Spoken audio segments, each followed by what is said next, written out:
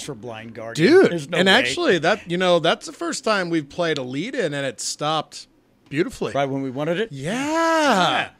Dude, we should just stop right now. Let's right, get LJ in here and get fuck out of We'll call it a day. We're already behind, so it really doesn't matter. Yeah, running uh, like an hour and a half later than we're accustomed because uh, apparently Microsoft doesn't want us doing our podcast anymore. You see what happens when you stop drinking? There's that. little uh, little heads up here is that uh, old Kev's uh, old Kev's a little fuckered up, but Kev's on the wagon. Old Kev's fuckered up on life. yeah, there's that. You know, you hear those commercials on TV about getting high on life. Kevin's chock full of it now. That's right. No drinking for me for uh, at least about another week. I think about a week from today, I'll do that again because I'm back on the uh, the the uh, the soccer bi- uh, mom diet, whatever. The uh, keloid diet, I think. Uh, the ca- the the catharsis diet. that sounds actually like a kick-ass That would diet. be actually all right. No, no, it's that fucking one. The, the limiting carbs, all this shit. Because I destroy myself for about six months, and the penance I do is like five weeks of this shit. We're eerily similar, especially you know the. Uh, of course, last weekend was a was a weekend, and uh, we, uh, j- I wasn't keeping score, but amongst the three of us, me, you, and Brett, we went through over a hundred beers, probably neighborhood of about hundred eight. and they weren't the small ones either. No, these are all tall boys. There were no small. There were no peasant beers in the batch. Ah. Over a hundred of those. A bottle of whiskey at a minimum. Couple bottles of mead. Basically, by the time it was all said and done. Fuck. I, mean, I feel like I'm missing out some other shit. All that was missing was like a loaf of bread and a leg of meat. It, it, it was it was a uh, it was a weekend for sure. It was. It was a, it was a real uh, it was I a real hope- scene. I hope everybody felt like their uh, their birthdays were celebrated properly. wow.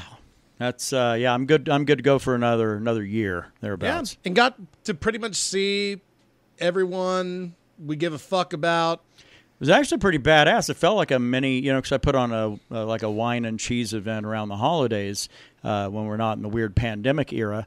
I, I legit think Saturday we had as many or more people here than we did on a wine and cheese social a couple of years ago. I agree.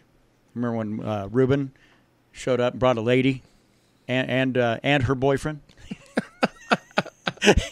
Hey, bro, bro, listen, bro.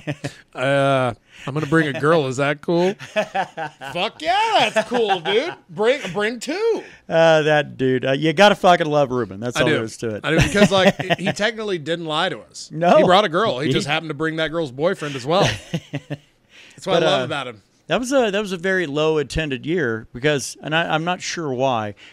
It, it- something just happened where the stars aligned, where everybody else had other shit going. Yeah, that, that it was Saturday. either like super early or super late in December.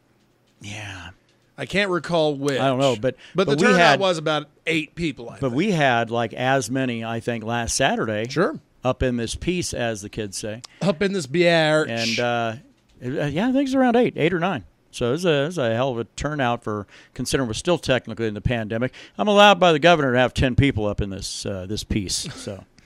up in this mosque. I'm uh, yeah, gonna have to send an email to the governor. Hey, I'd like to get ten people up in my joint. Is that cool?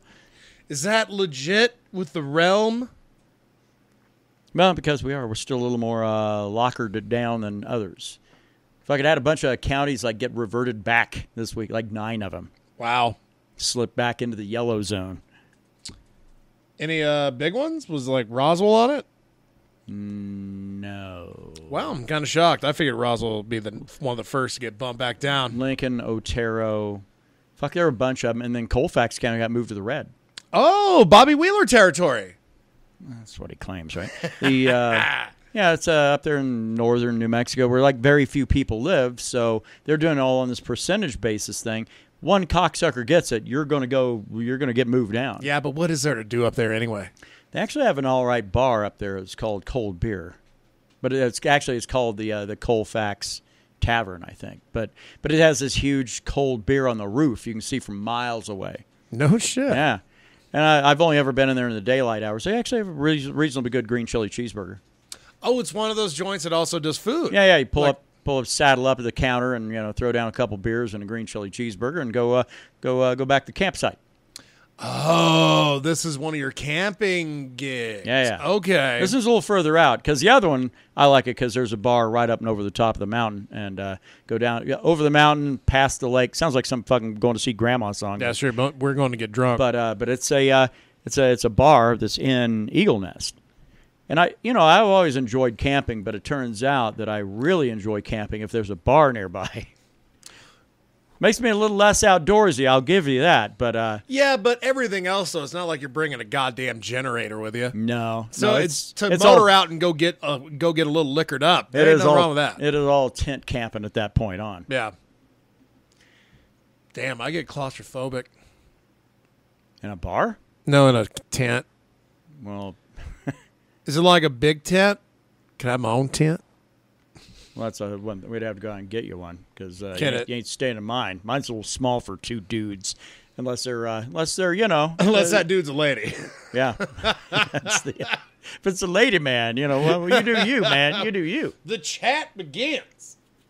It is a Mead Metal and MMA podcast. Get together once a week, talk about all the fun issues of the day going on with Mead, with metal, with MMA. Sometimes, sometimes we just bitch about our personal lives or uh, or, or or talk about how great they are. Yeah. You you had a great past week because, as everybody listens to the show knows, that you uh, when you left the hotelier business, you became a, uh, a, a bud tender. I did. and uh, at a dispensary, and you got to, uh, for your first time ever, work on a 420. Man. Now, I'm not asking you for any HIPAA violations. Oh, but- no, no, no. But The- every- got, it had to have been a goddamn madhouse. Well, shocker. It was a little busy. A little busy. Well, that bitch was bumping on a Friday today, so I could only imagine Tuesday. Yeah, today was recertification day, Ah, okay. which, you know, a lot of these people coming in today we might not see in a year because rec will be at the bare minimum about to fucking commence. Look into the timeline of that today. So if you're already a card carrier, you can start putting plants in the ground on June 29th. I don't exactly know what the number. no, it's even if you're not. Oh, really? Even Just if you're not, anybody can. Starting you in shitting June. me? Yeah. Fucking crazy. Um, wow, and it's not even legal. So you can grow it, you just can't do anything with it. Uh, well, because I mean, right now, as of uh, I think June is when it's like de like fully decriminalized Yeah. because they're taking longer because they want to check out like that aspect of it, like getting this shit expunged from people's records, which the logistics of that I'm sure is far more out there than getting the dispensary shit on the road because they've been talking about this for years. I'm sure they already got framework for it. Yeah, I think we're well past the era of throwing people in a cage for fucking cultivating a plant. Yeah, I'd hope so. I mean, we're not fucking monsters anymore, are we? I don't know. Well, we got a guy in the White House that's not in favor of uh, uh, decriminalizing federally, so it's going to have to be up to those assholes that all lie and cheat and rob from each other. Well, that's good. We well, got they rob from us. us, actually, not from each other. in other words, the uh, the the Congress. So, Right. the Cong, the Congress, sexual Congress. But uh, yeah, so the timeline June 21st on or 29th on that. Uh, and then a bunch of like for like commercial growers, some of their shit really starts kicking in about October. And then uh, January, then that's when their stuff is finalized. So then that way there's enough on hand. So April 1 comes around in 2022, then they'll roll out uh, recreational then, and they'll have enough on hand, allegedly, to keep those uh, of us that depend on it, you know, medicinally Yeah. and keep it there on the shelves where it belongs. So basically, and then I will get to my day. All right. But but this is kind of a big thing. I, I think I really think this is a great thing that legalization is finally here. And uh, let's see, starting June 29th, 2021, that's when it becomes legal to have it if you're over 21. If you have it in your pocket, no, you're you're you're legit. So you just can't buy it then. But if you have like a PvP bag in your pocket, that's like having a prescription in your pocket. Yeah. That then you're fuckeroony. You Yeah. better have that shit in a, in something else. Right. But after, after that, and uh, let's see, you can uh, cultivate six mature plants and six immature plants with a limit of 12 mature plants per residence. Yeah. God damn, that's a lot of that's a lot Especially if you're good at it. that's a lot of cannabis. If you're good at it, you can because they're not limiting like how much you can get. They're limiting the plant Right. Which that I mean, shit. If you If, if you were actually one of these assholes who really, really knows what they're doing, you might be able to pull an ounce and a half off of a, a plant. Yeah. So, and here's the uh, the big tax thing because everybody always wants like, what tax going to be? So when it starts April first, April Fools, 2022, wouldn't that be fun to get up there? Psych. Yeah. Just kidding. Sorry, bitch. We're done. Consult the calendar a little more often. Get your cards out, bitches. Uh, it's going to be 12 percent, and it will increase one percent each year, starting in 2025, capping at 18 percent in 2030. Eighteen percent. Well, okay, so that's like that's, That's, like a Colo- long milk. that's uh that's Colorado's Yeah. tax rate. That's a numbers. gradual milk. Yeah. Uh, well, so those those that stay on the uh, medicinal side though, then that means it'll become a fully tax free thing, just as any normal medicine, right? Yeah. Here, here's the great thing no limit is specified on the number of retail licenses to be issued. So it's like they're not liquor licenses. Right. We could have 20 here, Right. which, I mean, would defeat the fucking purpose of having it at all. well, they should do the same goddamn thing with bars. I'm just saying. And local governments cannot ban them. They can limit the number allowed or say, you can only be right here, motherfucker. Yeah, no, there were a lot of people uh, sitting around like kind of rubbing their palms together, going, "Ooh." I can't wait to say no to this. Yeah, exactly. what, bitches? Exactly. oh, you're going to have to get all that revenue yourselves. Oh, bummer. Oh, that sucks. Uh, let's see. Public consumption, of course, remains illegal, uh, but businesses can offer on site consumption if certain requirements are met, Like a like a weed bar. like an Amsterdam, like yeah, okay. yeah, I kind of dig that. You're gonna open a hookah, wonder- sh- a hookah shop. I wonder what the requirements are that you walk there from your house and walk back. catch a catch a ride on the uh, on the public transportation system. Yeah. just to just to stick it to the man even more. but like uh, the, the quandary I have is like, okay, guy sells weed, sells weed. Right. Even the sell of the weed, that shit's going to get expunged, right? Depends on the amount. From what I understand, if it was like a uh, like a like a criminal amount of like to where it becomes then possession with intent to distribute, that's where they might be a little fucked. It's like, look, we'll we'll bump that down to a misty. Well, but I mean, but yeah, but if you're uh, if you're in a position where you got caught and they decided to go ahead and and uh, throw your ass in a cage for a, a night or whatever, just because you had marijuana on you at any point, no, that's supposed to get expunged. But Good yeah, deal. but if you were but if you were peddling, I don't I don't know about that. yeah, that's a that's an area I don't know about. But overall, so far so good in my opinion. Uh, Well- I do also like the medicinal tax being dropped. Yeah. I like that because like, cool, we don't have to make money off you motherfuckers right now, which will eventually weed out everybody just had a card to get high. Right. They would rather pay that tax than spend that fifty bucks every month. Right. So it's really it's going to help that side, and it's going to give everybody options, and we're not going to run out like we fucking did on Monday, which will lead me to the 420 story. Okay. So Monday we didn't have anything. We had nothing. 419 bare bones. Late that evening we got something in. Got it ready to go. 420 comes out, man. We had a taco truck from Clovis that apparently their tacos were really shitty. Really? But shitty enough. Well, everybody in the store thought they were shitty. Huh. But they sold out. So they had a really good day because there's like an empty lot next to that building. Yeah. And you couldn't even find a parking space in there. I had, I had to park there for the day. That's bizarre. We were giving away frisbees, lip balms, beer koozies, which I got one for you. Well, who's going near a dispensary on 420? Well, all right, that's whatever, but If you got a taco truck, fucking everybody. Man.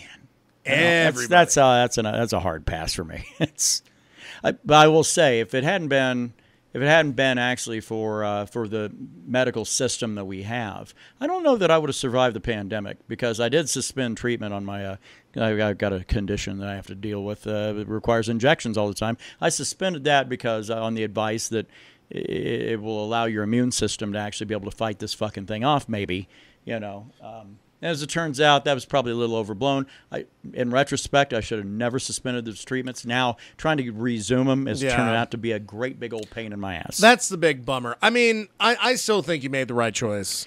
it, it's easy to say you didn't now because it's a year later, dude. Yeah. You know, so I mean, you still made the right choice because Right. who knows? Who knows what would have fucking happened? But you know, so for all the people, like, no, nobody really needs that. Well, you know, go fuck yourself because I I do. You know, I mean, I'm and I'm not even talking about for the intoxicant effect. I'm talking about that it nips the the high. Whenever I take like increased levels of CBD in almost anything, it kicks it right in the ass. And and the delivery of a THC delivery on the ten to one or whatever is not bad. Yeah. I mean, it, it's it ju- takes it does take the edge off. because there is something to what's called the entourage effect. And it's THC and CBD working together as one entity to provide so many benefits on top of, yeah, it, you're high, you get high. But there's just so much more going on right now. Yeah. Like I have a cart right now that fights antifungal. Granted, I don't have any foot fungus or nothing or anything weird going on. But I mean, this shit exists. You don't have no la- uh, lady fungus going on. I don't got no labia majora issues. but I mean, it's just it, there's so much more of a benefit. I spent 15 minutes with uh, a coworker of mine educating this woman who had a, had a, uh, a, a, a, a family member who's in dire need of CBD. And it's like, yeah, here uh, extolling the benefits of this thing, just especially with what this in- individual endured. So you needed like a pain management, but without the intoxicating effect of THC. Wow. Yeah, I mean, because realistically, as a medicine, now I got to say this too: is that man, I've been issued some through the VA that will fuck me up too. Just letting you know. I mean, Yeah. they're they're all they're all in the pain med variety. Of course, they're all also dubiously in, in some. They've all got side effects. I'm not a big fan of. You know, Oh yeah, absolutely. I mean, if you're trying to find actually just the real, and I'm not. This isn't an The entire, real. This isn't exactly an entire episode that's dedicated to uh, trying to justify or or utilize uh, efficacy of uh, of utilization of, of medicinal cannabis, but but the reality is this: is that I would not have made it through this past year because of the fact that who knows? I, I could tell when I would think, all right, I need a few days just to clear my head or whatever. And by laying off of THC, I was also laying off the CBD. And that's when I'd get these damn flare ups. And they'd come out of the middle of nowhere. They'd hang around for days and days and days. Most of the time, I get a flare up, it's around for a few hours. And then it eventually gets the fuck out of here. Eh, Within, within six or eight hours or so, there are some that might hang out a day. In this past year, I've had some that would hang around for three, four days. I remember that picture you showed me.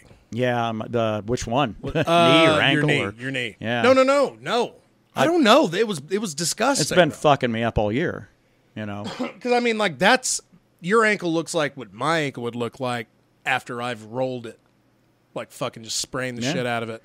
Only less blood in the extremities of the toes. yeah. But man, like it, it's that is like serious shit that those injection injections are required for you to fucking exist normal normal Yeah. life. No, it is. You know. I mean, that's.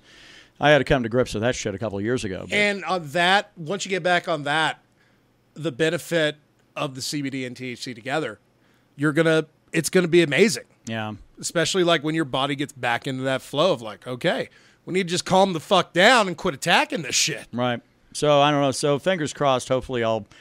Uh, my treatments will be back to normal by June. That's fingers crossed. So, you know. absolutely, man, absolutely. Anyway, uh, and we So yeah, long story short, 420 day, busy as kind of fuck. like, kind of like retail on Black Friday. Oh man, I, I haven't moved that fast since I worked at Sears during Black Friday in the hardware department. Yeah. Or like Brett was telling us last week that Cinco de Mayo whips his ass. Yeah. Because, you, know, that Torchy store that he's at and, you know, in Yeah, because uh, the one we went to in Austin didn't serve booze. Yeah, no, they that all of theirs do. They're huge How on crazy. They're I huge wonder- on their margaritas, on their Mexican beers, and he said, "Yeah, he said that's it. Cinco de Mayo comes around, people want a taco and they want to have a Mexican beer. May not have any of that 364 days a year, but they want it that day. Damn, that's great, dude. That dude is fucking killing it. Yeah, Ugh, I feel like we're all killing it in our own respective ways. sure. Triumvirate couldn't be stronger.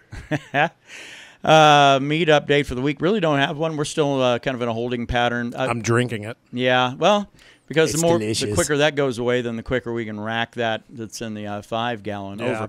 I was given some thought to it. of moving it over, topping it off, and we should have still around about two gallons or so, maybe. Um, I was thinking about going ahead and putting the remaining two gallons into uh, two of our one gallon little test runs, you know, test boys. Yeah. Um, and actually maybe trying to figure out what the next full scale we want to do. Um, I mean, if we wanted to do a Pyment batch like we keep talking about doing, It would be nice to do something different. if we wanted to do like a coffee bean batch, we could definitely do that. I'm mean- interested in that as well. Yeah, Sure. I mean, there there are a number of different directions we could go um, without committing to a full run, and then so utilizing what we have. That's already a batch one ready to go. It just needs to go into a secondary and get flavored. And I don't know why it always seemed like if we started a gallon batch, for some reason it just didn't. It would something would be off. You know what I mean? Yeah, no, it, because you're you're getting a, a fuller utilization of the sugars present by the yeast on a full batch. If you're doing a five or a six gallon run, Okay. it, it's it's a lot more across the board. You get a lot more of an even. You would think it's like, oh, okay, well, it's a much smaller container, so that yeast can break it all down. For some reason, there is some reason that they can't, and I think it has a lot to do with uh, anaerobic behavior out of the yeast itself. Is that they overconsume, and then it makes it where they can they can't break down the honey as easily and as efficiently. Damn, you sound smart. No, I got my moments. That's that not drinking shit. there are uh, there are people in this town that would tell you you're wrong. I, I don't like it, man. I don't like this sober you. Uh, you. You sound too smart. I don't like it. I don't like it. I'm going. To, I'm gonna have to go fucking find me a dumber friend. yeah, there are there are those I, had have- in this town. I, I might know a few. yeah. I might know a few. Um, let's go ahead and move along to uh, checking in with LJ. We, we've been in, kind of missing that guy, uh, like You what, a couple ships passing in the night. Yeah, what it's saying? I, I, I, I felt like a real shithill for last week, but man, when when the triumvirate is together, yeah, th- that's kind of like the one thing. It's like even if I had plans with a lady that night, right. I'd have to cancel them. Yeah, That's the fucking dedication I have to this triangle. yeah. Well, it all it all worked out. Last episode's uh, last episode will certainly rank right up there with among my favorites. So, uh, let's go ahead and check in with LJ. Uh, finally, get a uh, get a medal update for uh, what's going on around the world. I saw the release list today, and I immediately felt really bad for him. Maybe he found some gold. Who knows? Yeah, the old children of Bodom put out a. Well, I shouldn't talk shit with Laiho dead, but uh, but actually, Bodom after Bodom after dark, Bodom after midnight. Midnight. whatever, yeah, I mean, it sounded like some weird '80s, you know, late Yeah, I '80s don't like get that overnight show. shit after midnight. Yeah. Like what? What do you mean? What does it mean? You're cooler? That's about the only one I really, really, truly recognize dropping today. Yeah. So uh, let's go ahead and uh, get the update from LJ and see what's going down with Lowdown on the metal update for this week. And welcome back, everybody, to the metal portion of the Mead Metal and MMA podcast. It's your boy, LJ, Lowdown, KBX, whatever you want to call me. And the only copyright infringement we care about on this show is whenever you steal from us. So, with that in mind, let's get into some fucking metal. First on this list, Bongzilla. The album is called Weedsconsin. You know, it's perfect that they release us so close to 420. Hell yeah, man. That's what I'm talking about. Choke up and rock out. Fuck yeah. It actually sounds really cool too. Extremely sludgy, very heavy. And also the album artwork is cool as shit. Or if you'll pardon the expression, dope as fuck. All right, next up on this magical list of ill repute, we have Dirty Honey with their album Dirty Honey. Um, I actually listened to some of this, and it sounds just like if ACDC were to have Led Zeppelin's vocalist. I mean, there's no way you can go wrong with that combination, man. It's hard rock. How could you not like that? I mean, that's my kind of shit right there. And in fact, I think I'm actually going to purchase this album too. So yeah, check them out.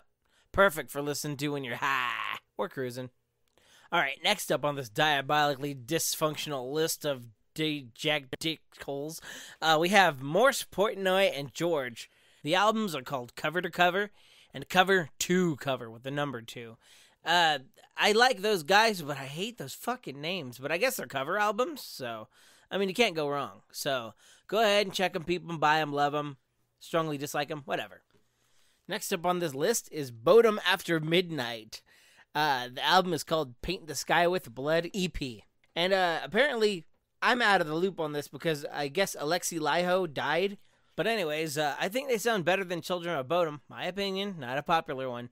But also, I like the comment section of the video I watched for the title of the song named after the album, which says, uh, "When you release an album after you're dead, that's metal as fuck." I agree with whoever posted that. That is true. Yes. So buy it, check it out. This is heavy as fuck, and it just got me so amped up. And now we're gonna move from the new releases to the news releases. So, uh, going off of a Loudwire, if you guys are too lazy to go on there yourself, there's an article that says all the times Ted Nugent denied COVID 19 before he got it. And he revealed that he tested positive this month. Karma's kind of a bitch. I'm not a big fan of his anyway. Anyways, um, Unity TX drop a heavy cover of Megan Thee Stallion's Crybaby. Not to be dramatic, but this song goes hard. According to Loudwire, which I, if history serves right, we can't really trust them as far as we can pick them up and throw them. Uh, the Pretty Reckless Land sixth mainstream rock chart topper. What the fuck am I reading? Anyways, why am I doing this? Why am I reading all these news things? Anyways, uh, congrats to the Pretty Reckless, who have another chart topping single on their hands with a recent single, And So It Went. This extends the band's record on the Billboard Mainstream Rock Airplay chart, becoming the sixth chart topping single for a female fronted band. Nice. Keep going, man. You guys need to chart yourselves more, whatever the fuck you're doing. Keep doing it. And that concludes this week's portion of the Mead Metal and MMA Metal podcast. So, uh, just wanted to throw this out there. Apologies to anybody who was uh, aware of my technical difficulties the past while. It sucks. I've been uh, trying to make sure that I better myself in these upcoming weeks. So, expect releases to be more consistent and done ahead of schedule. That way, they can be put into the segments. That's all I got for this week. Take it away, Kevin and Brandon. Or if you're ending the show, then see ya. Go fuck yourself, rock the fuck out, all that other happy horse shit. You guys just stay safe, be care, don't catch COVID, don't spread COVID, and rock the fuck out. See ya. I think I started when I was talking about Alexi Laiho. I'm, I'm going to hell. You know, I'm always amazed that that guy can kind of, like I said, I didn't, I, I, I legitimately thought, well, this is going to be maybe the biggest challenge this guy has had since he's been, uh, you know, our correspondent here on uh, the metal side of things. Well done as always, man. Dude has a podcast of his own. Yes, he does. See that? You remember like a uh, wow? I think his very first couple that he had did for the you know done for the Mead Metal and MMA podcast was with his nephew Braxton. Yeah. Brixton, Braxton is one- Braxton. Yeah, um, yeah. They're no, they're doing one separately now. I don't know, if didn't catch the name of it, but uh, but he told me he was over uh, across the state line today uh, recording that one. So Outlaw. It's pretty cool because it seems to me like it's a kind of like a rap R and B version of what we do. good. Well, that's uh, I- man. With all things, if there's if there's a hole in the market, is what they call it, you know, in the radio business. Which, but- by the way, I mean that as a compliment. I didn't want to. I yeah, no, shit. no, but, but it means like if there's if there's a need, fulfill it. Feed it. Yeah, Feed the need. exactly. So good, good on L. So in LJ, that's the thing too. Surely all of you know by now that dude is is heavy into the rap scene, heavy into the metal scene. and, He's you heavy know, into into every scene. yeah, Everything. But uh, but we need to get him down here again, man. yeah, we do, we do. LJ, this is an invitation. We need to get you here before the end of the year, bruh. Uh, with that, got uh, got any other metal stuff to get to? There's only one thing I want to talk about because I feel like LJ covered it bueno. And it's something that, of course, I've been following since I saw his picture inside the Capitol building. It's Jon Schaffer, ladies and gentlemen. now, everything seemed to be in a holding pattern until, gosh, what about. I don't know if it was last week. I can't recall because that whole weekend is kind of like a Yeah. a real fuzzy kind of like Oh, yeah. lucid dream you're trying to hold on to. Thursday through Sunday was just Yeah. a, a brain hammer. Yeah, But uh basically Schaffer pleaded guilty. To not he was charged with six. and those of you who don't know, he's a guitar player for. Um, He was a guitar player. was was it was? Uh, let's, let's see- make sure we're using that in the past tense. For a lot of things I dug. I was a big fan of Iced Earth in the uh in the fucking late 90s, primarily because I was drawn to the artwork because it was done by Todd McFarlane of Spawn fame. right. kick ass shit. And but and did uh, Demons and Wizards, which was a great duo with uh, Hansi from the frontman from uh, Blind Guardian. Wow. Well, all that's gone. Yeah. but he's out of jail now. After Yeah. 89 fucking days in jail, dude. But he's just kind of out to gather his shit and ready to get ready to go back to jail, right? I like I'm still debating on whether or not the podcast picture is going to be Valentina Shevchenko or Jon Schaffer getting out of jail. it's a tough choice. Yeah, it it's is. a tough choice. But this picture, it, it I mean, it just look. He's got a kiss hat on. He looks like he's aged. He already looked kind of old, even in that fucking angry picture where he's pointing that finger, being being the American man. He looks like he aged five years Yeah. in three months. Jeez. Well, That- I mean, being in custody. for, for a guy that doesn't have a history. You know what I mean? Uh, he's been a, he's an asshole. Yeah. Fucking plaid shirt on that has like a little name tag on it, like if you're in a biker gang, which that's real classy. Right. I want a flannel shirt with my name tag on it that says Hog, Boss Hog. Fuck that. And some gal that's like there to pick him up got his shit in what looks like Walmart bags. Right. Man, well, if anything, that should tell everybody. It doesn't matter if you have a clean record, you've never done anything wrong your entire life, anything that even passes muster for sedition, you're you're going to get hammered. yeah, you you fucking go fuck with America. Yeah. And everybody that has these stickers on the back of their cars that say, if you're offended by this flag and big old fucking USA flag, I'll help you pack. You are the motherfuckers that should be angry by this, and for some reason, I feel like you're not. Yeah. No, it's it, You know? because it all became politicized. So if you're like a Trump guy, then yeah, it's like, wow, it was peaceful. Yeah, yeah, until they like started, I don't know, killing folk and breaking in and shit. I mean, whatever. If you're still defending it in April of 2021, I, I don't, I don't know what to make of you. Yeah, it's weird. So Schaffer, three and a half to four and a half years in Yeah. Fetty, in Club Fed. Yeah, and he's been uh, accepted into the Witness Protection Program sponsorship. Oh, so his guitar riff days are done then. Yeah. He- this dude might be shoveling shit in Nebraska.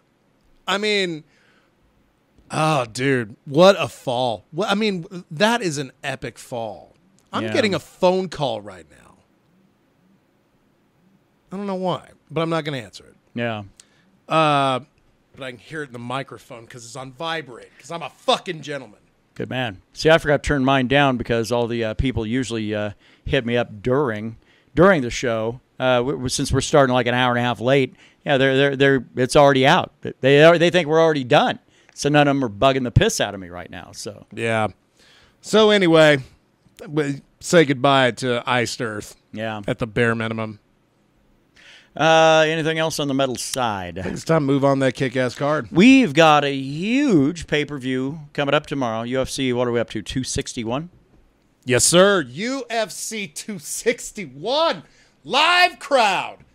Live crowd. That I, I for some reason I hate those motherfuckers. I've been around them twice and I fucking loathe them, but I miss them when I'm watching. It is a little weird because I didn't know how, how I was really going to feel about it about 11 months ago. Well, almost almost a year ago. Yeah, when really. they when they uh, restarted fights, but uh, you know with no crowds. Right. But I'm not sure if I'm going to be big on this. I kind of dig it because of this is because you can hear the corners specifically you can hear them yell certain things Sure. and it kind of gives you a whole different insight that you can't hear you can't hear over crowds so you know that goes away the other problem though is i do think it gives some fighters a very unfair advantage Yeah, and you get to hear the commentators. I don't know how big a fan I am of that. yeah because they are analyzing and breaking shit down. And I mean, you know, that could help. Yeah.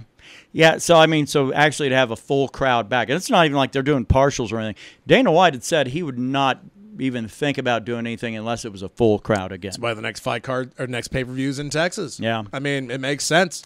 And he kept his promise, dude. I mean, give it. I have to give him that. He said he'd be first. Yep. We've had some. uh, We had WrestleMania, but that was not full attendance WrestleMania. No. There were cut out fucking people in that crowd. This is sold. Well, I don't know if it's actually sold out, but it could. It could sell out if it wanted to. I'm assuming it probably is. I saw know. some front row seat tickets on sale today for eight grand, and it wasn't like resale. Oh, a little blue dot on Ticketmaster where it's like available, Oh, not the circle circle I thing. guess if you want to throw eight grand, but Fuck that! And the seats right behind it, nine hundred bucks. I wonder. I wonder Yeah. what I'm gonna do. Yeah, like I'm, I'm sure that front row, like you get a blowjob from Jon Anik or something. ugh. But yeah, I mean, he probably uses a lot of teeth. Uh, but yeah, man, I think the fucking most random thing I think we've ever had on a show. I think that having crowds back are going to be the biggest benefit to the fighters. I think it's going to fucking do something to them, especially ones that have fought during the pandemic. Because there are some fighters that haven't fought since before the pandemic. Could have almost said Leon Edwards, right, at one point. Yeah, no shit. But uh, so it, I think that's going to be the biggest bump. We're going to see some fighters with some fires lit under their asses Yeah. tomorrow. I think. Yeah, well, but it is one of those that does go a very long way to allowing us to kind of get back to regular on a sport that we uh, that we hold near and dear enough to where we base a show around it every week. So UFC 261 coming up tomorrow. The main card is bonkers because the fact is there are three title fights, but there are also two very solid fights on that. Usually they throw us one to start a pay per view. Of a couple assholes we barely have heard of or haven't heard of at all and uh, and it's like why how, how why am I supposed to get excited about this? Then there will be a fight with a couple of journeymen. Yeah. Then they will slow it down and bring the the, the momentum completely to a screeching halt with usually a, a 115 fight. You know, a couple of ladies at 115 that have really no inertia, you know, or or, or the the occasional dude fight at 125. Some one of those to really really bring the action down, Yeah. or or get a couple of grapplers, and that's you know. But and then they usually have a reasonable co-main and and usually a really good main event. I, I feel like this one is solid across the board. I mean, I feel like they're blowing a serious load on this one. Yeah. I mean, and and the next card, 262, that's already shaping up to be huge. Is that the one in May? Uh, 262 is No, no, June.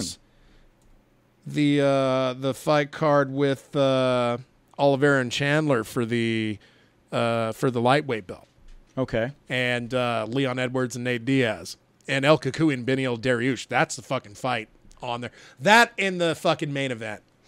I would say that one is great if you're a fight fan. The one coming up tomorrow is great for everybody. Oh yeah, that that's what like that's what makes it great. That's what makes it great. And then of course, uh, you got fucking Conor and Poirier in July. But this is just oh, this is gonna be a treat, dude. yeah, man. And So- Anthony Smith and Jim Crute opening things up. There isn't a fight on here, a normal fight. I mean, all the all the all the boys fighting. It's going to be all the big boys. I was going to ask you if you wanted to go all the way through the entire card, but then I realized, well, the prelims, early prelims, I don't, I, I, haven't, I don't recognize a soul. Dana went the route of getting fighters that really aren't don't have names, but share something in common with the champs on the card to to fight. Yeah, There's a lot of people on that uh, Fight Pass prelim I've never heard of, right. and shocker, I, I'm not I'm not the type of guy to go do that kind of homework. you know. Right. Well, and kicks off four o'clock our time, which uh, shit, that's a full hour for you're even off tomorrow. So, Exactly. uh, prelim though, that'll start at six. And and again, the prelims there are there are a couple of names like I recognize the guy, I'm not familiar. I'd have to I'd have to get online and figure out who he fought, when, what the outcome was, and it'll probably maybe uh, click a little bell of recognition there. Um, however, I will say that uh, the the main event of the prelims, that's that's a that's a hell of a matchup. Your favorite uh, Brazilian cowboy Alex Oliveira. Yeah, well, and this one's at 170, and the weigh-ins were today, and I guess weight. he made weight, No which one, is which no is one botched. which is bizarre because that guy usually 170 he's fucking it's, it's like he takes a hard pass on any kind of a cut and then gets in there and acts like he's accomplished something well yeah it's called cheating sir Yeah. By the It- way, this just said two hours twenty minutes later that computer's ready to go. yeah Oh, we oh, uh, yeah this this microsoft update just got yeah two hours two hours 20 minutes that's insane So both fighters coming off losses. I I mean, I, I I don't like. I will root for anybody that's fighting against Alex Oliveira sure for that stupid little man bun he's got. He does have beautiful gray eyes for a Brazilian. I'll give him that.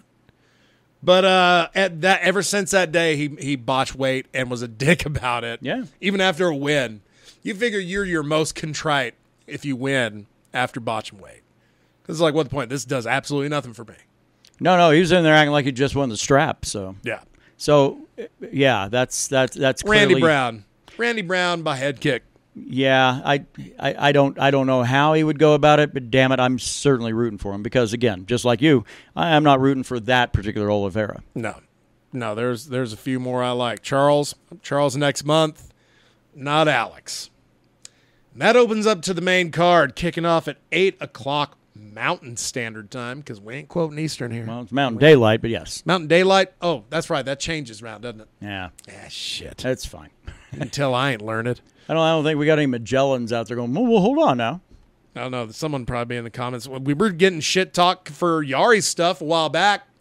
Then we had somebody start posting some weird sexy time stuff on there that uh, Yeah, I know. I, I mean, I'm glad that even inanimate objects are, are checking us out. That's cool. You know, as long as they're watching, I don't give a fuck. Check out sexy tit time. Yeah, yeah, it was one of those dubious links. Like, I'm not opening that. Now, when I hear the name Jim Crute, I find it hard to remember him sometimes. Until it sounded like your dog just like let out a fart and then barked. nah, he just that was just his growl and then a bark. Shut up, honky. Uh, but I, I I can rarely like remember him until I see see a picture of him, Right. and then I see that fucking tit tattoo of the fucking like I don't know if it's a raven or what, but it has the umbrella logo in the middle of it. right. I'm like, oh, that guy. Fighting Anthony Smith. You got uh you got a number six rank going against a number thirteen at light heavyweight, which is really in a state of flux right now. My problem with Anthony Smith, every time I pick him, he goes out and gets a loss. so I feel a little bit weird about picking him on this fight, but uh, but I do like him over Crute, uh, only because the fact is that he's multifaceted as a fighter. The thing goes ground, he's all right. Smith Smith is good standing, he's good on the ground, he's good at anything in between. See, I have a weird. It's not even like something based off fact. I just feel like people that work for whoever UFC has their TV deal with at the time, as an analyst or anything, unless you're a champ and got the job, if you just got the job, you rarely do well in your fights because you're pulling double duty on everything. Right. And Anthony Smith is fucking great. I can't wait for this guy to retire to go and do this. No, no, he's Full he- time. he's actually maybe one of the more insightful, like with real information people can use. Absolutely. I, I think he's going to do great in the second aspect of his fucking career. Right. And he'll do it for a long time. But I think I'm going Jim Crute on this. Dude's 12 and 1, man. Yeah. No, It's that's a, a- solid it- record. It- and it's a, it's, a, it's a hard guy to go against. But again, it's 205. And someone just has to land first. After that, 185. Two guys that have had some serious up and down in their career, but coming off wins, both of them. Uriah Hall going against Chris Weidman. And it, well, yeah, you- Hall Weidman too, technically. Yeah, they fought like what ten years ago. Yeah, it's been a decade. no, yeah, it's been. I know there was no pause, but No, no, it was it was ten years ago. Um, you know, and both of them are actually using that. Now that one, Weidman actually knocked out Uriah Hall, but Yeah. this time around, Uriah Hall's talking about how his striking's a lot better, how his uh, skills, uh, you know, of being able to counter or a lot better, and all this other stuff. Weidman is still a, a solid, solid wrestler with a really solid camp there on Long Island. yeah, absolutely. I mean, don't. Chris Weidman is fifteen and five, right? But doesn't it feel like he loses all the time? Feels like he's here lately. Well, considering he was what undefeated until, Yeah, until he had that- that first one, and then they kind of started coming pretty regular. Yeah, like fucking just like sweet candy. And, and I know he's coming off a win. And I, I mean, I gotta admit, there's there's a part of me that's pulling for this guy. I like Chris Weidman. Sure. I like what he did to Anderson Silva. I really do. And I like what he did do in the, in the second fight, to be honest. Like, ooh, ooh.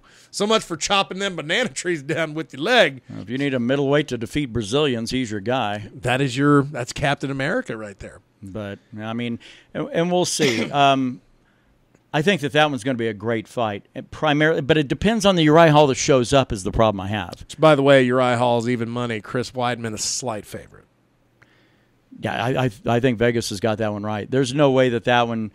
Nobody's looking at that going. Well, I got the slam dunk here. I know who's going to win because Standing, I have my doubts on Weidman. Yep. If it goes to the ground, I have no doubts in Weidman. that that's that's going to be what it is. If he is able to get in there and get a shoot takedown immediately, then then immediately turn in or, or establish the momentum where that fight's going to be, and then Hall can't come back from it. I like Uriah Hall in a finish. Yeah. I like him in a finish. Well, he's not a Brazilian, so I like him for that Yeah, aspect yeah. against Weidman. That so. dude's very Jamaican. yeah, And uh, Chris Weidman don't do well against anybody that ain't Brazilian. yeah. That's going to do like an ancestry fucking DNA. I'll just like get a little bit of their spit and do it. Like, oh, he's like an eighth fucking Brazilian. I got a shot. I got a shot. Line it up. Which uh, the Anthony Smith Crute fight, Anthony Smith's two to one underdog in that fight. Yeah, I'm I'm taking him only primarily because of the fact I do like the way he fights. I like his approach to a fight. Now, normally we'd have a little bit more boring chat about the next two or three fights coming up before the title fight, but there are three title fights, Yep. and they're all amazing.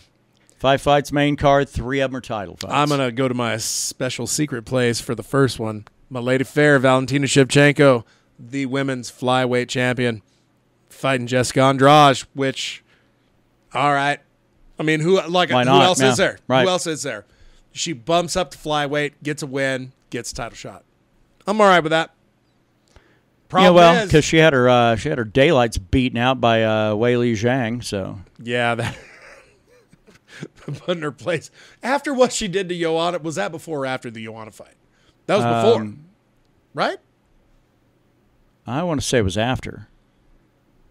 Because uh, she fought Joanna for the belt. It Yeah. a- yeah, and then And, fought. pun- and punched her forehead until Joanna looked like for- looked like uh, Dobby out that of was uh, for you an know. interim belt. And then Weili fought fucking Andrade because I think I don't know. I might be getting that wrong. Bottom line is, she was getting fucking stuffed at 115. Well, Andrade decided to go ahead and defend her belt over in the Far East somewhere, right? Yeah, It was all pre-pandemic, but I don't remember exactly where it was at. I want to, I want to say it was in Hong Kong, but I, I don't think that's right. yeah. After the Namajunas knockout, Weili came in and got the same thing done to her in about 42 seconds. Uh, then after that, the Namajunas rematch, which she lost, and then uh, bumped up to 125 and uh, knocked out Chookagian in late in the first. Well, uh, but a lot of gals do that. So They do. Gals can be crazy sometimes. no, no, Chookagian is just she. I, I don't know what it is. She fights kind of, I little lackluster. There's not a lot of spark to it. Yeah. and and she commonly loses pretty regular. The bottom line is this: Is Jessica Andrade the one to do it? Well, I don't know. I, because my problem is this when she beat Namajunas, it wasn't because of her striking. It was not that. It was because Namajunas refused to let go of a, of a hold. She refused to let go of a headlock. It was a bad choice on her part. yeah, and uh, so Andrade kind of spiked her and knocked her out. You know, um, so it wasn't so much because of her overwhelming striking winning her that strap in the first place. It was overwhelming striking that lost her the strap. And she's not going to see any less out of Shevchenko. I think you're. I think you might be a little crazy if you take Andrade, but then again, it's the crazy people that make the money. It is. You got to take the chances to make the money, but the problem is, you got Valentina five five, which is short, sixty-seven inch reach, thirty-eight inch leg reach. Jessica Andrade, five foot one. Yep, I had a girlfriend two inches shorter back in my day. a couple inches shorter, she counts as a midge. That's true. She gets like parking privileges or something. I don't know. but a 62 inch reach with the fists and a 35 inch reach with the legs, which outside of leg kicks, she rarely, I would say, uses. Yeah, no, she's certainly a striker. she is a striker. She yeah. is a fisty striker. I think, I think Valentina catches her. Not with the, it, it might be with a gnarly fucking kick to the dome as well. I envision a lot of head kicks tomorrow. I Yeah. really do. That's possible. I do. Th- I, I don't know that we're going to get a finish out of that. I think uh, Valentina's really found a groove that she enjoys of kind of going out there and beating the hell out of people. And How- then, however, if I was in Vegas, it's plus 350. I might put a C note on Andrade just in case. Out of all the out of all the underdogs of the night, I don't know. Actually, Masvidal is a minus a plus 350. I might go that route actually instead because I feel like he has a better chance of beating Usman than Andrade does beating Shevchenko. okay, Third round finish for me for, my uh, lady for fair, and All we right. will celebrate at Metro PCS. Uh, let's see. That puts us up. Well, I, I guess if there are three title fights, technically two of them are co-mains. Yeah, I don't know. I think there is no co-main in this. These three are main events. Yeah, I mean, technically, your main event's the last fight of the night. right. I don't think there's any co-main here. But uh, we do got the straw weight battle, which I'm so glad to see Rose back and fighting for that title again. Yeah, I mean, Namajunas is always. Uh, I mean, I mean, we like her around here. We don't, don't have anything against Hell her. yeah. She's a little, little odd, but you know. Uh, That's what I like about her. Yeah. She doesn't smile. yeah. she's just uh, she's dead. She's dead in the eyes, Right. and I don't know why, but she makes that fucking short hairdo work. Yeah, well, but she's going to be uh, taking on basically the uh, the woman that beat the living piss out of her opponent in Andrade, and Wei Li Zhang, the uh, strawweight champion right now. Yeah, I and mean, the, and the funny that you would think this was going to be like a striking battle. um, I don't think so. I think Thug wants to take it to the ground and choke her out. I think that's where the that's where her magic is at Yeah. in this fight. Because I don't think you're going to outstrike Wei Li Zhang. At least the one we saw fight against uh, Joanna, uh, Jędrzejczyk. That that Wei Li Zhang, blah, blah, blah, fucking just murder in those hands. Yeah, and and Zhang Wei Li 100% takedown D, Well, which that's, somebody's got something to be said. somebody's got to break that at some point. So And she doesn't normally uh, shoot for takedowns either. 23% of the time when she does it, she lands it. Uh man, I want to see Rose win. Yeah. I do. That's my that's in my heart. That's Sure. one of my heart I want to win. I don't know if her striking cuz she can load up and land and fucking rattle you. oh yeah, But Zhang Wei Li is going to punch you five or six times before you do. And I, I, I'm, I'm curious to see how Rose will deal with that. Because she, I mean, she dealt with the onslaughts well in the Andrade fight, well enough to win that motherfucker. right. She's going to have some time to do this. Because, I mean, Rose got out of that fight, that rematch, and did not look pretty in the face afterwards. She was busted up. Yeah. But I mean, people made artwork out of it. She was happy about it. I think Rose is going to pull it off, but I think it's going to go the distance. Really. I, I, I, just think that Wei Li Zhang is going to get a early, early finish. I, I think first, second round. I'm all right with that. I, f- I feel like if that happens, though, we say goodbye to Rose Namajunas. I really do. Who knows? I'm shocked she came back. Yeah. I really am. After when she said she was done, I was like, with everything she's been through and her mental capacity, she might be done. Maybe this is bet. She's going to go and garden on the internet. yeah. I, I, I like that pick too. That that's that's a tough one for me. That's why I, don't mean- think Rose is going to finish her. Yeah, no, I, I, I hope that Rose gets the win. I do, but I, uh, I, I the, the realist in me recognizes what I'm, Wei go- Li I'm going with my heart. It's- and I know my heart. I'm going to fail. It's gonna. I'm gonna. My heart's going to be broken. Yeah, It. This other one though, I've been teeter tottering all day today. The main event, welterweight title fight, Kamaru Usman minus 455 favorite going against the plus 350 man, the Gamebred, Jorge Masvidal. I, I, my the weird thing with Kamaru is that I think by him being just such a dominant wrestler, his fights maybe not the uh, the most interesting things you can watch. Guy doesn't get a lot of finishes, although he's had a few. Gilbert. Um, yeah, and uh, Covington, he broke his jaw. Yeah. Uh, his, all I his mean- finishes were like significant. Yeah, but uh, but the be. thing is, is that he makes wrestling look so easy and effortless. Yeah. and in the process of doing so, and plus he was saying some really wicked shit this week about how really he's just he's, he he wants to make sure that when he retires that he didn't just beat somebody. He wants to make sure everybody that he defeated goes, oh fuck that guy. And he's starting really with Masvidal. I mean, Gilbert Burns was a teammate, and look what he did to Yeah, him. yeah, that's. He made him cry. I mean, He was crying afterwards, dude. if this fight was like two or three years ago when Masvidal was really getting that big surge at that time, I might feel differently. But I, I don't see how anybody I don't see how anybody right now. Let's go back to the last time Masvidal fought. When was that? Oh yeah, when he fought fucking Kamaru Usman for the belt on six days' Yeah, notice. over on Fight Island. Before that, he was uh, in the afterglow of the Nate That Diaz fight. BMF fight, yeah. This is a big fight for Masvidal. I feel like this is the one.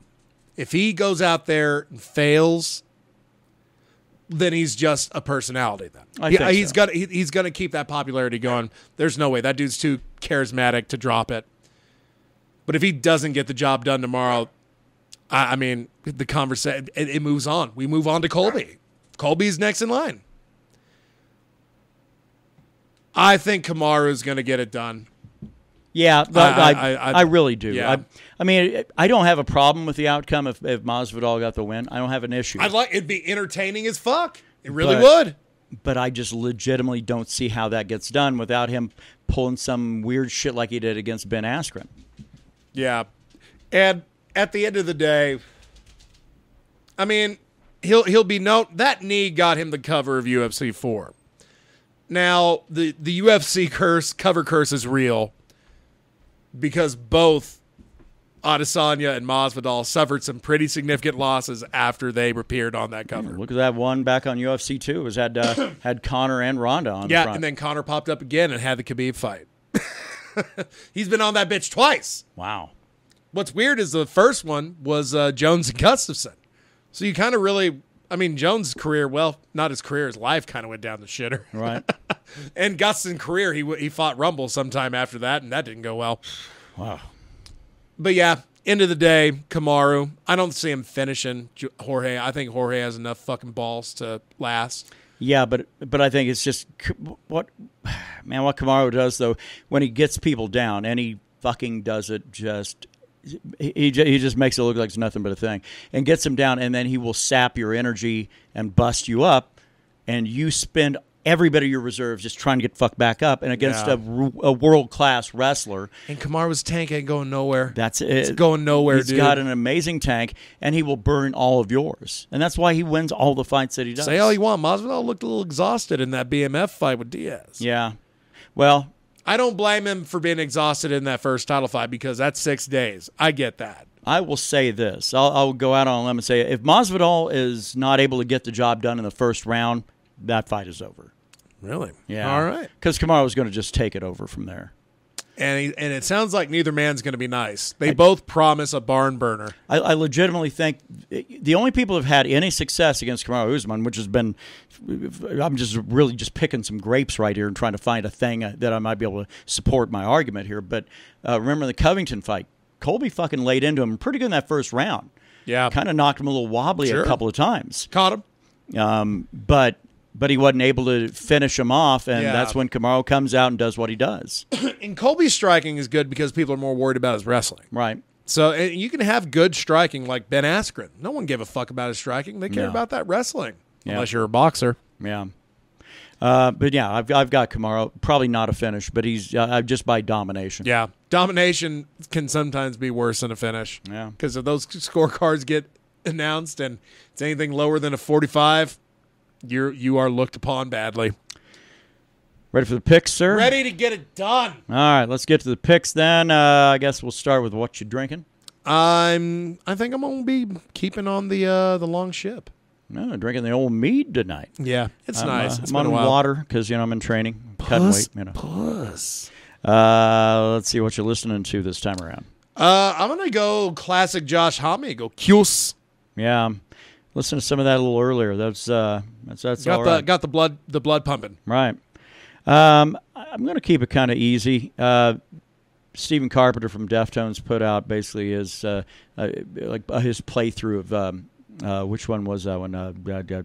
The one ceremony. they- ceremony. Yeah, the one they just put out a video Yeah. for. Uh, yeah, yeah, that was just dropped. Uh, I think a couple of days ago. So, uh, I mean, I'm still I'm still big on the Deftones thing, and we got them coming up September 11th. So, Celebrating freedom. yeah. Um, all right, fights go. What's the one thing's going to happen tomorrow that nobody else knows about that you do? I think there's a better chance of Masvidal dropping Usman with a flash knockout than there is of Andrade doing it to Shevchenko. Yeah. Because that middle fight, the the the Zhang, the Zhang Weili Namajunas fight, that's so close. I think in my mind, those other two, there's one extreme or there's the other extreme. Yeah. Well, what I'm hoping I see, and this this is a pick in, in terms of what I hope I see, because I still think that Weili Zhang Zhang Weili, whatever you want to call her, I, I, I still think she's going to get the win. Uh, I would love to see Rose Namajunas with a rear naked choke second round. Yeah. Do you think uh, she would tap or would she go out? I think she goes out. Yeah. That's that's yeah. uh, because I feel like it's going to happen quick. that chick is a warrior. Yeah. And then uh, I'm going to feel real good when I hear my first whistles of the night in the crowd. Like, Yeah. oh, I didn't miss that shit. yeah. All right. Well, let's go to do it for us this week. Uh, Hey, we did it. Yeah, we'll be uh, yeah. Thank, with no thanks from the laptop or Microsoft. Um, we'll be back at it again two weeks. That's We're, right. Uh, we're going to be at your mama's house next week, boys. take uh, next week off, and then we'll be back the uh, the week right after that. So it'll be uh, May yeah, it was seventh. I want to say something like that, sixth or seventh. So that's going to do it for us this time around. Enjoy yourselves. Enjoy UFC 261, and we'll be uh, right back. At next time I talk to you, I'll be drunk. I promise. I hope so.